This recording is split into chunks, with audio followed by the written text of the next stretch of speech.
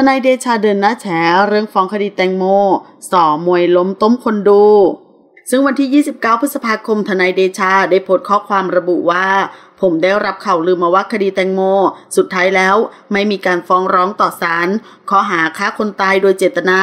ทำได้แค่เพียงขอเข้าร่วมเป็นโจทย์ร่วมกับอายการเท่านั้น ในข้อหาประมาทเท่านั้นแฮชแท็กมวยลมต้มคนดูหรือเปล่า จะพูดทุกเรื่องที่เป็นข่าวและประชาชนสนใจ ไม่มีใครห้ามได้ยกเว้นพ่อผมสั่ง จากนั้นได้โพสต์อีกว่า ข่าวคดีแตงโม ประชาชนยังให้ความสนใจ ผู้สื่อข่าวยังมาสัมภาษณ์ผมอยู่ ผมจะพูดทุกวัน ถ้าประชาชนยังให้ความสนใจ ใครจะมาสั่งห้ามผมไม่ได้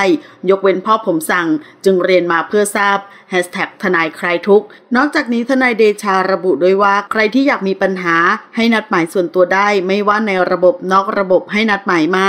และยังได้แจ้งตำรวจแล้วว่า มีนักการเมืองมาข่มขู่ว่า จะใช้วิธีการนอกระบบกับตนเอง ซึ่งส่วนตัวไม่เคยกลัวพวกกระจอกเหล่านี้ด้านชาวเน็ตร่วมคอมเมนต์แสดงความคิดเห็นในโพสต์ของทนายเดชาไปแล้วกว่า 1,000 ครั้ง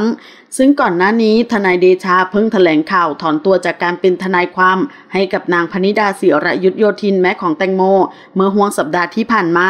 นอกจากนี้ยังระบุผ่านรายการโหนกระแสว่าต่อไปคงไม่พูดเรื่องคดีแตงโมแล้ว ขอขอบคุณข้อมูลจากที่นี่ .com ขอบคุณค่ะ